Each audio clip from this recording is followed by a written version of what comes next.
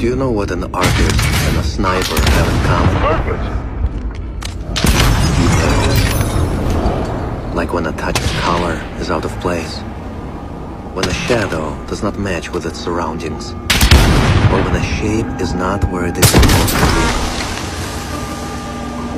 be. The only difference is the stakes. Mine are high.